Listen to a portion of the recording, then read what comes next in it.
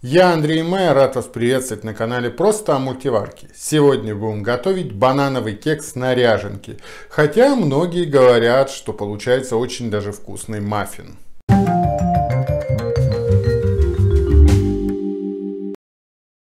Кексы делятся на три типа. Сухие, такие средние и маффины. Некоторые маффины, грубо говоря, пропитывают соком, но некоторые по рецептуре получаются достаточно такими не сухими, а очень даже влажными.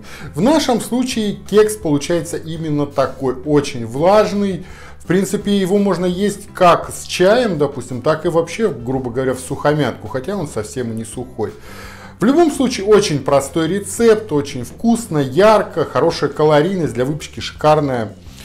А впереди нас ждут продукты, приготовления, а в конце видео калорийности, белки, жиры и углеводы. И не забывайте, если ваша мультиварка несколько мощнее моей, желательно уменьшить время приготовления. Продукты. Для приготовления нам потребуется 200 грамм сахара, 250 грамм творога 5%, 120 грамм муки, 3 яйца, 200 э, грамм бананов и 200 миллилитров ряженки. Ну и, конечно же, разрыхлитель теста. По продуктам у нас все. Впереди нас ждет тесто. И первым нашим шагом становится смешивание творога, сахара, яиц и масла до однородной такой массы грубо говоря, миксером, ну, минутки 2-3. После чего переходим к следующей фазе в нашей работе над тестом. Мы продолжаем делать наше тесто. Мы отправляем муку, разрыхлитель и ряженку. И все это миксером 2-3 минутки. Получаем, в общем-то, практически готовое тесто, если бы не одно но – бананы. Что с ними делать, это решать вам. Вы можете передавить их вилкой до состояния такого теста и отправить сюда же. Тогда ваш кекс просто приобретет банановый вкус. Я же режу их очень мелкими кубиками и потом аккуратненько ложечкой перемешиваю.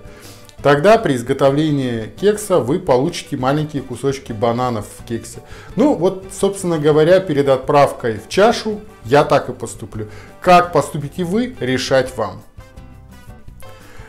мелко порубили бананы, отправили в наше тесто. В общем-то все готово, мы переходим э, к самой выпечке. Чаши дно смажьте сливочным маслом, ну где-то примерно на смазанное дно уходит 5 грамм, собственно 50 плюс 5. И теперь отправляем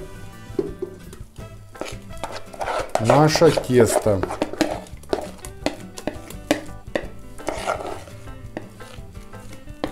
А вот насколько, тут достаточно спорный момент. Кто-то любит э, данный кексик более в жидком состоянии. Это, ну, 60 минут. Кто-то в более твердом. Это где-то минут 70. Я оставлю по привычке на 60 минут. А после уже даю минут 20 настояться. Как сделаете вы? Ну, посмотрите, один разик сделаете, будет точно потому что все мультиварки на режимы выпечка немножко играют. В моем случае 60 минут будет как раз. После того, как мультиварка пропищит о том, что программа выпечка выполнена, не спешите доставать кексик из чаши. Подождите где-то минут 10-15, он дойдет, потом открываете чашу, даете еще 5-10 минут остыть. Ну, потому что нам кекс, собственно, надо доставать, а потом берете тарелочку примерно по диаметру подходящую. И достаем наш кексик. Вот такого вот красавца. Всего час работы мультиварки, очень простой рецепт, хорошая калорийность для выпечки, просто шикарная в калорийность, реально. Не 400 калорий в 100 граммах. Вкусненько, не сухой, очень влажный такой кексик.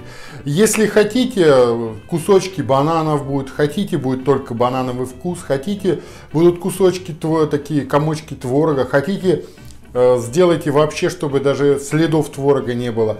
Все в ваших руках. Главное, очень вкусно, а значит, приятного аппетита!